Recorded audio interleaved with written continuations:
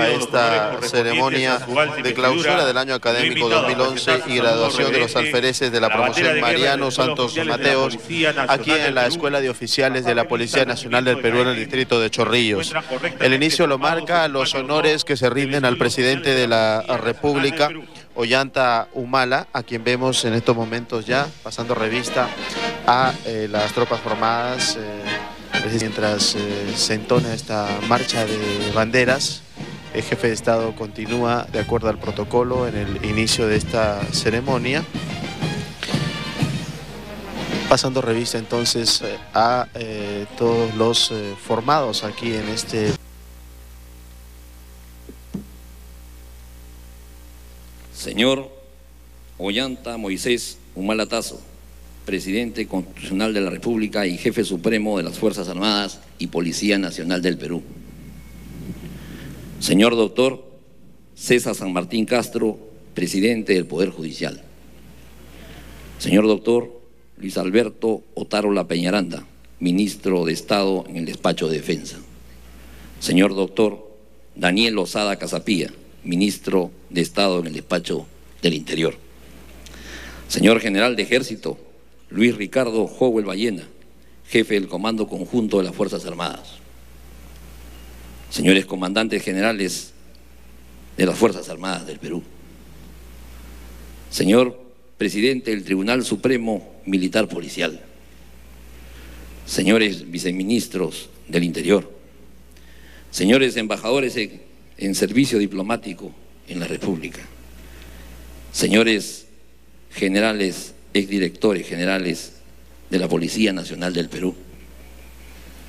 Señores generales de división, vicealmirantes y tenientes generales de las Fuerzas Armadas y Policía Nacional del Perú.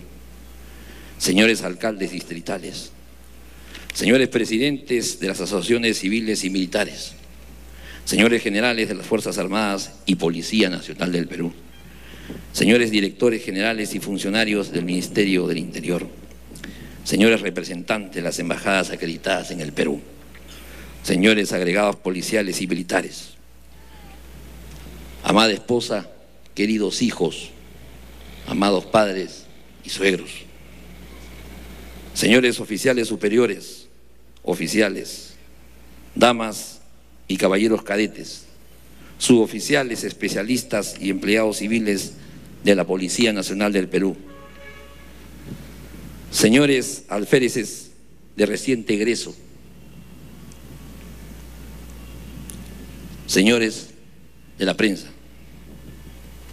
distinguidos invitados, señoras y señores. Agrupamiento, descanso.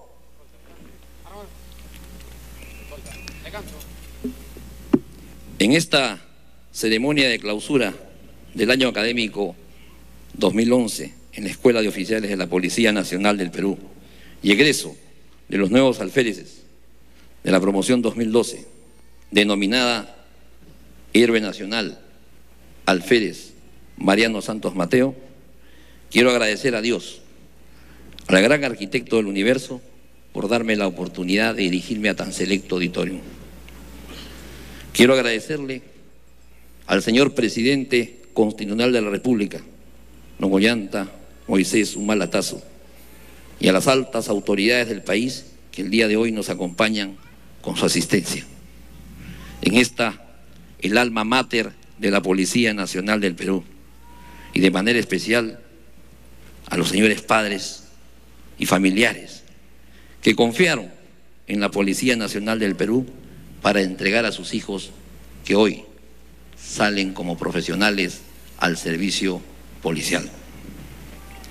Hoy, señor presidente, egresan 144 nuevos oficiales al servicio profesional. De ellos son 22 damas y 122 caballeros. Los señores oficiales conformantes de esta promoción ingresaron en marzo del año 2007 a la Escuela de Oficiales de la Policía Nacional y han transcurrido cinco años de formación y el día de hoy, 17 de diciembre del 2011, egresan como oficiales de policía. Para nosotros será una inyección de nueva sangre para el servicio operativo, que permita mejorar los niveles profesionales y relevar a los policías que por la propia naturaleza del servicio y paso del tiempo deben pasar a la situación de retiro. Imbuidos de conocimientos frescos, actualizados, ellos serán los responsables de mantener el orden interno a nivel nacional, el orden público y a garantizar también la seguridad pública. Serán garantes del derecho, serán el brazo principal de la justicia en forma permanente. No olvidemos que la institución más próxima en forma permanente en todo el territorio de la República es la Policía Nacional. Razón por la cual, imbuidos de estos preceptos y conceptos que han aprendido aquí en su alma mater, ellos, pretóricos de fe, marcharán a cumplir a cabalidad el servicio policial. Somos conscientes que el conocimiento de la aurora de la humanidad ha demostrado ser la estrategia de mayor efectividad para la transformación de pueblos, instituciones y personas. Más aún en nuestro tiempo, donde ésta se hace mayor por la alta competitividad, el factor determinante para el desarrollo de toda institución, lo cual viene orientado en el norte, porque es el norte de nuestra institución mejorar. Y mejorar también la convivencia, hoy más que nunca, en la coherencia de los procesos educativos desarrollados policialmente, sabemos que la moral es base y cimiento para todo policía nacional. En esa medida hemos desarrollado nuestras actividades durante el tiempo que ustedes han permanecido en esta escuela, aprendiendo los secretos del policía para que sean eficientes en el servicio operativo. Han sido formados en base a contenidos temáticos que se han ido desarrollando a lo largo de los cinco años. Y también han tenido estudios complementarios en unidades especializadas de la Policía Nacional del Perú, de tal manera que se encuentran actos para comandar, para poder dar el ejemplo a sus subordinados, para ser buenos oficiales, para no faltar en ningún momento al juramento que hoy les va a tomar el señor presidente de la República, para que sean excelentes profesionales. Ustedes están comprometidos no solamente con la institución, no solamente con su familia, están comprometidos con todo el país a no traicionar en ningún momento los principios y los preceptos que han aprendido. Tienen que ser agradecidos con sus instructores. La disciplina será la base fundamental de su comportamiento dentro de la institución. Han cumplido un primer filtro, su etapa de formación, señor presidente. Ahora viene la etapa del trabajo, el trabajo profesional que ustedes deben tener a partir del primero de enero, donde van a ser distribuidos en todo el territorio de la República. Irán a comandar 104 mil hombres que se encuentran desplegados a lo largo y ancho de todo el territorio nacional. Y ustedes, que son los herederos de virtudes y de buenos ejemplos de los policías del ayer, y también de nuestros héroes nacionales, como Marianto Santos Mateo, el valiente de Tarapacá, como el capitán Alipio Ponce Vázquez, el titán de Carcabón, de la campaña militar de 1941, y de tantos héroes y mártires que han derramado su sangre a lo largo del tiempo por devolver la paz al país. Somos herederos de buenos ejemplos. Y aquí quiero decirles que ustedes deben ir al servicio con mucha fe, con mucha esperanza de que la Policía Nacional va a ir recobrando la confianza del pueblo peruano, porque ese va a ser el compromiso principal de ustedes. Ante Dios, ante la patria, ese va a ser el compromiso principal de ustedes. Tendrán que ir a cambiar la mentalidad de muchos policías y tendrán que crear en ellos compromiso, un cambio de actitud. Ustedes han imbuidos de conocimiento fresco, como lo he repetido yo, y tendrán que ir a comandar. Serán responsables de sus actos. Tendrán que ir a tratar bien al público. Tendrán que actuar con firmeza, con mucho valor y coraje, pero sin llegar a excesos y abusos. Tendrán que ir a colaborar con desterrar la corrupción en todas sus manifestaciones. En todas sus manifestaciones. Ustedes son oficiales y como tal, desde hoy se comportarán como oficiales de policía. Y serán los responsables de todo lo que suceda, por omisión o por acción, pero serán responsables. Y eso que quede presente en sus mentes, que quede bien grabado, para que sepan que tienen que respetar los reglamentos y los manuales que tienen a su disposición. Progresivamente tendrán que ir de la mano del desarrollo de la institución. Faltan 38 años en adelante, señor presidente. Recién comienza su vida profesional. Y desde el primer día deben comportarse bien, a la altura de un oficial de policía. Siempre deben tener la consigna permanente de un servicio eficiente. Nunca deben dejarse agotar. El cansancio no es buen amigo. No hay tregua. El policía continúa hasta el final, como reza nuestro himno. Listo a servir, presto a morir. Y esto no solamente es retórica, deben sentirlo así deben actuar con honestidad, con honradez. Deben ser líderes todos ustedes de sus subordinados. Líderes. Deben dar buenos ejemplos. Deben exigir. Y para exigir hay que comportarse bien. Ustedes son su espejo donde ellos se van a mirar. Ustedes tienen la responsabilidad de comandar. Y tendrán que corregir cuando llegue el momento, sin abusos también. Tendrán que orientar a su personal, tendrán que hacer amigos de su personal, pero dentro de la disciplina y dentro de la observancia de los reglamentos.